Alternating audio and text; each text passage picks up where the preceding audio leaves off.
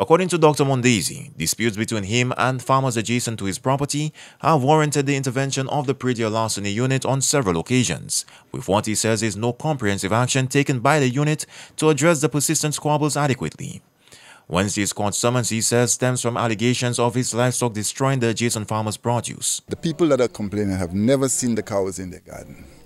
They have, they have never come in with any pictures seeing us the cow. But the attitude up there is that Dr. Mondesir have money and he can pay. No evidence. I'll give you an example of one of the people that came in there. He comes, he says, my cow went in his garden. I ask him, Did you see the cows? He says, No. But I says, How do you know that it's my cows that went into your garden? Okay?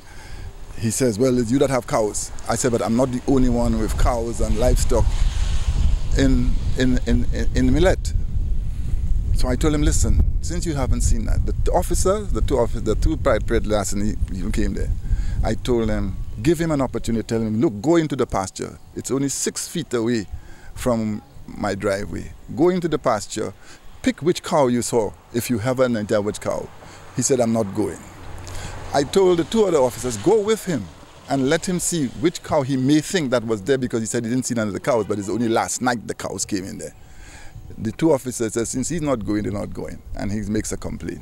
Dr. Mondesir reveals that the matter is being brought to mediation and he looks forward to making his case. They asked me if I want to do mediation with the people that complain. I said, of course, because I will make my case at, at the mediation because they're claiming the damages and have no evidence on any damage. Dr. Mondesir is also calling on the praedial larceny unit to bolster its efforts in addressing some of these issues.